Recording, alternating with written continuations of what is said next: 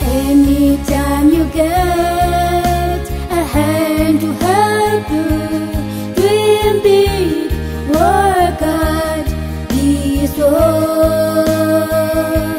Use it, prepare bright future.